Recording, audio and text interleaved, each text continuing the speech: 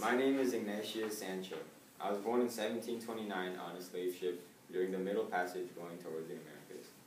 My mom died when I was young, and my dad killed himself to avoid being enslaved. I was brought to England by my slave owners when I was only two years old.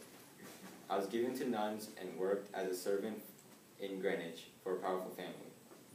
I was lucky enough to become a free man and open my own grocery shop. From there, I started pursuing the acts of becoming an actor, composer, and writer. I am also the first African to vote in British Parliament in 1774 and 1780. Due to my background and experience firsthand with slavery and oppression, I strongly believe that the slave trade must be abolished immediately because the current slavery goes against the words of the Bible and is inhumane. Although the slave trade is seen as a fundamental part of the English economy, the economy does not need it. England and the rest of Europe should be focusing and investing their efforts towards goods Africa has to offer, rather than investing in the slave trade. Quoting Olaudah Equiano, a commercial intercourse with Africa opens an inexhaustible source of wealth to the manufacturing interests of Great Britain and to all which the slave trade is an objection. The abolition of slavery so diabolical, will give a most rapid extension of manufactures, which is totally and diametrically opposite to what some interested people assert. Slave trade is standing in the way of what could be a gold mine of goods, industry, enterprise, and mining, in which England would become handsomely rich. Slavery is something that has existed in ancient Western culture in the past, but slavery has become drastically more violent and cruel. The slavery in the past was often voluntary, and the slaves were the slave owner's responsibility. People often chose to be slaves to pay off debt. The slavery that exists now is inhumane, and no one would wish it upon themselves. I once wrote in the letters to my dear friend that all Englanders seem to care about now is money, money, money.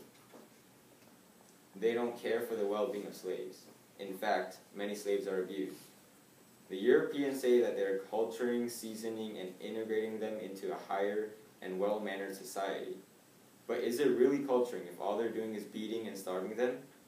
Captain Kimber, who is in our presence today, is known to have whipped a slave girl to death for no reason and to have gotten off without any charges. Not only have there been many cases like this, but when transporting slaves, the merchants pile them in extremely cramped ships that reek of death and disease. This kind of slavery is wrong and unjust. Not only is it unjust to treat people like this, but the Bible concludes that slavery is wrong. Slavery, as stated before, was voluntary and meant to pay off debts, and it should have stayed this way. People may argue that the Bible does not, does not say anything against slavery, but in the Bible, slave traders are compared to lawbreakers and perjurers. 1 Timothy, 1 Timothy chapter 1 verse 9 says, We also know that the law made not for the righteous, but for the lawbreakers and rebels, the ungodly and sinful, the unholy and irreligious, for those who kill their fathers or mothers, for murderers, for the sexually immoral, for those practicing homosexuality, for slave traders and liars and perjurers, and for whatever else is contrary to sound doctrine that confirms to the gospel concerning the glory of the blessed God, which he entrusted to me. Slave traders are seen as contradicting the gospel.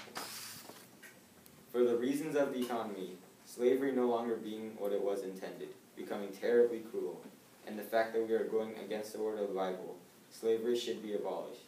We can't continue to treat Africans inferior than any other race because of the color of their skin. Am I inferior to the white man? I have the right to stand here today, because like all the African slaves, I am human. As Paul writes in Galatians chapter 3, verse 28, there is neither Jew nor Gentile, neither slave nor free, nor is there male and female, for you all, all for you are all one in Jesus, Christ Jesus.